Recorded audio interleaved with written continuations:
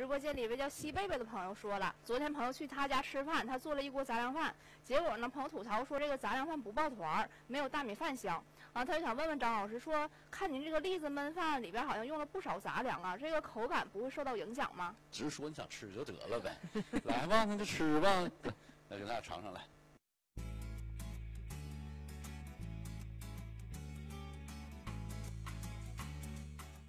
其实，在我这个带货这碗饭的时候，我就已经吃了，我就觉得当时吃的时候，我就觉得跟以前吃的杂粮饭不一样。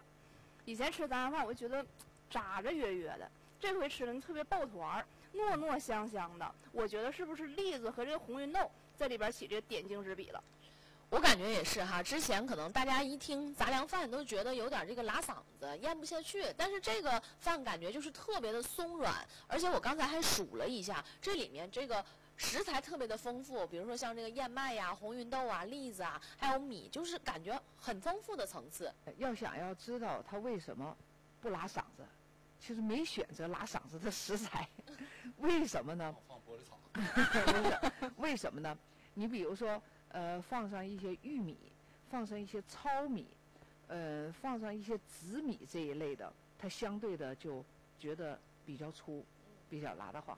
但是呢，我们这里头呢没有放这些东西，这是第一点。第二点呢，你想让它黏黏糊糊的抱团儿的话，特别简单，你可以放上一点咱东北的这种新鲜的好大米，它就可以了。那张老师啊，这个栗子焖饭究竟怎么做的呢？你等会儿啊。我觉得吧，栗子焖饭这个事儿，要知道怎么做。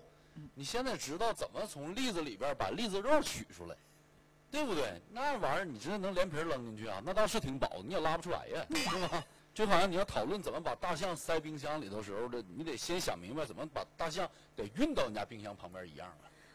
运大象费劲，然后这包栗子其实也更费劲。我就觉得这个剥栗子实在太磨叽了。栗子这玩意儿啊，不太容易放。对吧？对，不好放。然后一次呢，你这只买个五七八个呢，不太现实。剥栗子就成了一个大工程。早市市场这些地方买的话，买的都是带皮儿的，其实没有提供这个剥皮服务的。没错，对，尤其是那个栗子，它里边那个皮儿跟上面粘着，贼费劲。两层皮儿，有硬皮儿，有那个软皮儿。对，都都贼费劲。我跟你说，我吃八百个，要是用一个点儿，我就。其实要是那个没有这个皮儿的话，我吃八百，我可能半个点儿。